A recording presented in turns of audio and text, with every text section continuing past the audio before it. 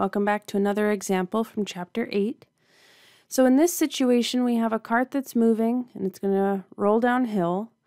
And so when we see this situation and then it collides, that means that the collision is step two and the step one is going to be the energy problem that involves rolling downhill. So step one, energy. Step two, momentum. We have seen two-step problems work the opposite direction, but as a reminder to us, a two-step problem involves two steps that cannot be skipped. They have to be done in the correct order. And the end of step one becomes the start of step two. So end of step one becomes the start of step two. We need to make sure we understand why we do the things that we do in this class and not just try to kind of memorize the fact that we do them.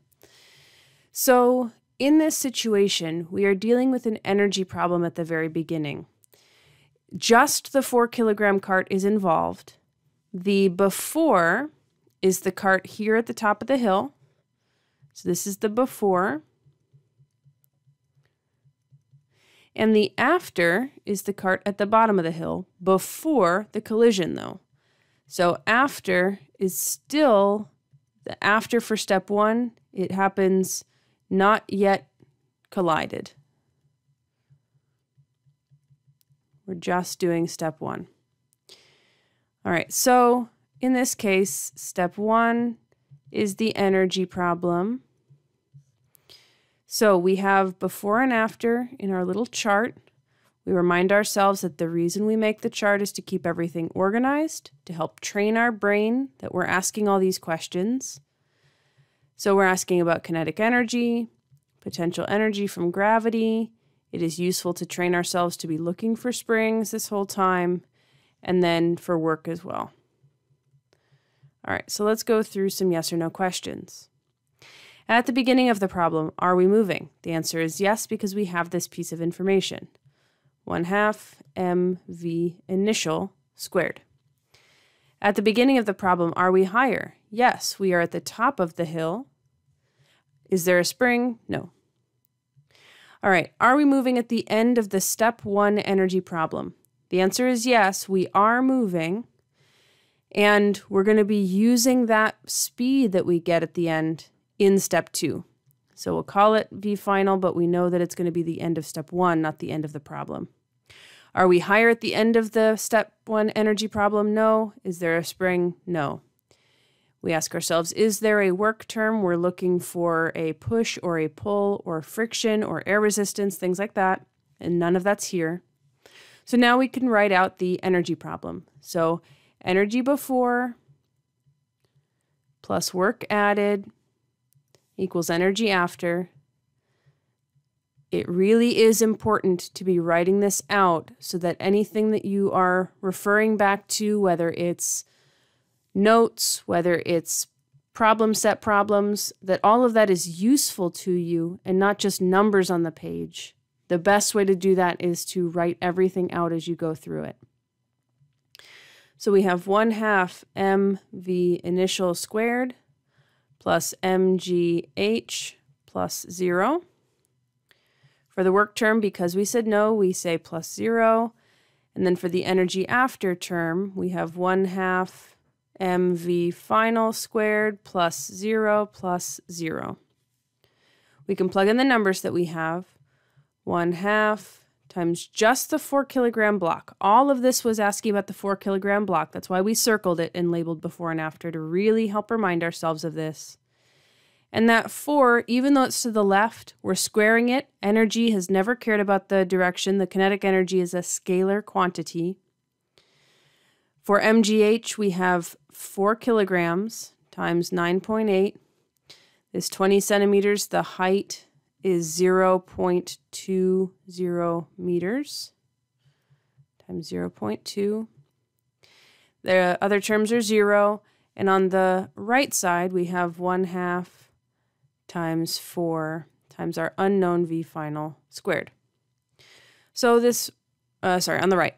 So on the right side, we have 1 half times 4 is 2v final squared. On the left, I'm going to put all of this into my calculator and get one single number. So all of that on the left side is 39.84 joules. So you can divide both sides by 2. And then we'll take the square root. So the square root of this 19.92 that's left is our V final. And so we get 4.46 meters per second. And that is at the bottom of the hill right before the collision. So bottom of hill and before the collision. That is the end of our step one, but it's the start of our step two. So now we move on to step two, which is our momentum problem.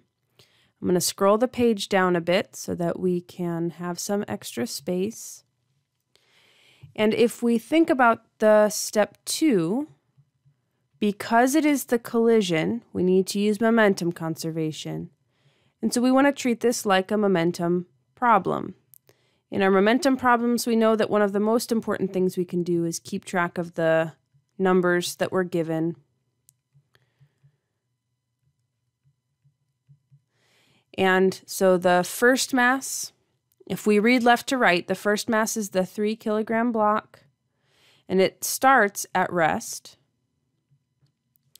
The second mass is the four kilogram block, and it starts at a speed of 4.46, 4.46 meters per second. And since we've drawn it left, it's useful to kind of have that minus sign because we definitely need to train ourselves for most of the chapter 8 problems to worry about that. Uh, and so we write out the momentum conservation equation, m1v1 initial plus m2v2 initial equals m1v1 final plus m2v2 final. Now, because these stick together, the final velocity of the first is the same as the final velocity of the second. And just to make it super, super clear for us, we'll call it final, final. It's the end of the problem, not just the end of the step. All right, so let's plug in some numbers. 3 times 0 plus 4 times negative 4.46 is equal to 3 v final final plus 4 v final final. All right, the right side is just 7 v finals.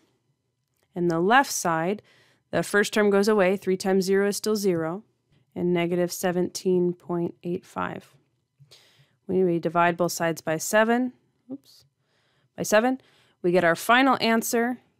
Uh, the biggest open space I have left, which is, um, and I'm going to ignore the negative sign because we cared about the speed. It's still kind of here, um, although mostly scrolled off this um, slide. 2.55 meters per second, and we are still moving to the left. So that is our final answer. It makes sense to us that we slowed down in the collision because we lost a lot of the energy when we stuck together. And so this first step made sense because we sped up because we rolled downhill, but then we slowed down because we hit the object. These two steps both have to happen, they have to happen in that order. And as a reminder to us, the end of step one was the start of our step two. And that is absolutely essential to be not just able to reproduce, but to understand why that happens. So if you need help on two step problems, they are one of the tougher physics problems, not toughest math, but toughest physics problems from the chapter. Please make sure that you're asking for help in office hours or email. We want to help make sure that everything makes sense to you. We have two more uh, numbered or lettered examples for the chapter. And so I will see you in those next videos.